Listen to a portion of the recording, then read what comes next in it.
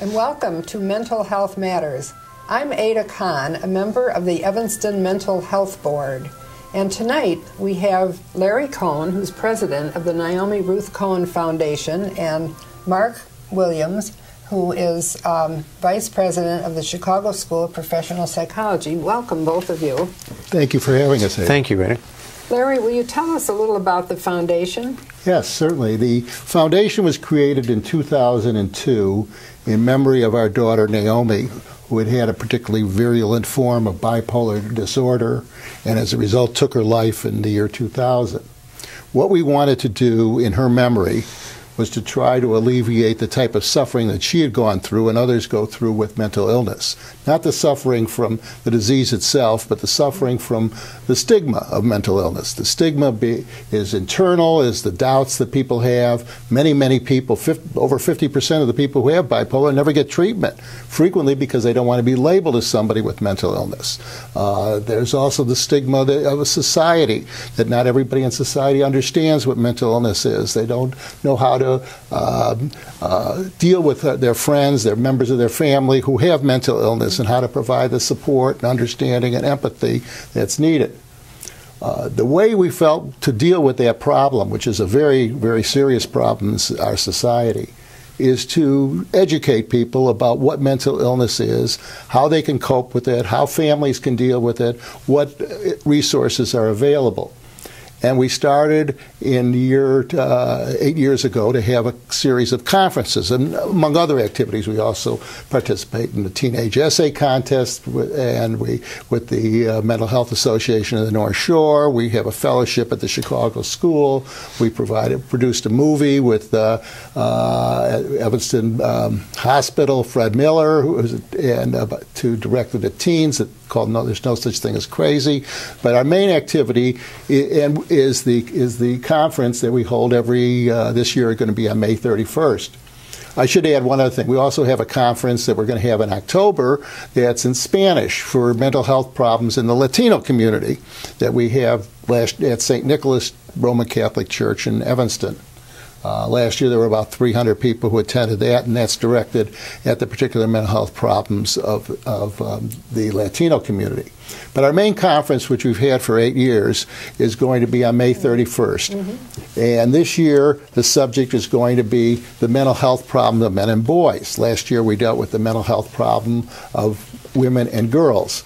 Uh, the mental health problems of men and boys is a is a it, it, men have different types of problems than women do in the mental health area, as you probably know.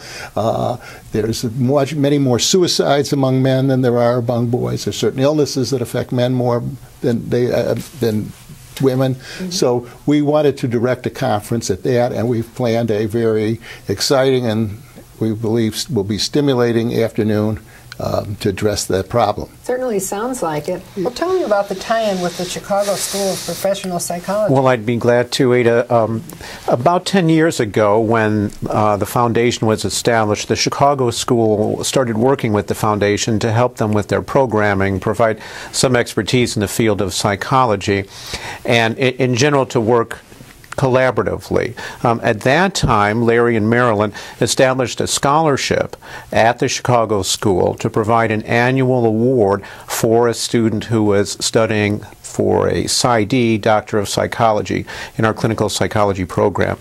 The Chicago School of Professional Psychology was established in 1979 uh, to prepare practitioners in the field of professional psychology. We're, we're, we we do not offer the PhD, which is an academic degree, we offer the PsyD, which is an equivalent for clinicians who wish to practice psychology. Uh, today, uh, the school has expanded. We offer doctorate, master's level programs programs in clinical psychology, but also in school psychology, forensic psychology, applied behavior analysis, and business and industrial organization psychology. It's also important to know that since its inception, the school has been dedicated to community service, which is one reason why our work and the work of the Cohen Foundation are so compatible. Um, every year, our students donate 600,000 hours of community service, in part to gain their licenses courses, but also in service learning and community service projects, valued at about $24 million. So the dedication that the school is known for having in the community is very compatible with the work of the Cohen Foundation, which is to help relieve the stigma of mental illness through public education and awareness. Well, the wonderful thing about the conference is that it's for both consumers, the average person in the community, and professionals. Yes. There's something for everyone. That's right. Our, our conference, we, we believe, is unique because, first of all, it is a, it is prof- for professionals, and, this, and we give continuing legal, uh, continuing education credits to them. But at the same time, we invite the public, and the speakers address the public and provide information to the public. Uh, we have over 120 different community organizations that are helping us sponsor the event this year from throughout the North Shore area. So we have uh, a spiritual component. We'll have an opening address uh, by a rabbi, and at the concluding remarks by uh, Rabbi Capers Funnye, who is a um, the rabbi of the Ethiopian Beth Shalom Ethiopian congregation in Chicago, and was recently featured in the New York Times as Obama's rabbi. So we're we have a spiritual component to it. Um, and then what we have, we think that also makes us unique. We have major speakers on the subject that we're going to to deal with. Um, this year, we're going to have uh, Dr. Uh, Melvin McInnis, who's a, a uh, prof- chair professor at the University of Michigan, associate director of the Depression Clinic, and an expert on depression in men. We're going to have uh, from the University of Akron, this is uh, Dr. Ronald Levant, whose specialty is the um, uh, men, psychology of man fathering, masculinity issues. And finally, we'll have Joseph Rogers, who is a consumer. We always try to have both a psychiatrist, a psychologist, a social worker, and a consumer. Uh, Joseph Rogers is one of the major consumer advocates in the country. He's won the Heinz Award, which is a major award, uh, $250,000 award for his mental health advocacy, and also the Beers Award from the Mental Health Association. So we have three experts. And then we'll have, uh, after a break for um, refreshments and to see the exhibitors. We'll have many exhib- exhi- exhibits from uh, from different sponsors. We'll also then take a break and have a series of discussion groups that the participants can sign up for, dealing with specific issues, and I understand you'll be covering those later today. Yes, later tonight we're going to have some of the discussion leaders speaking about their topics. Did we mention the date of the conference? It- it's going well, to be uh, May 31st uh, at um, Beth Emet, the Free Synagogue in Evanston, uh, starting at 1245.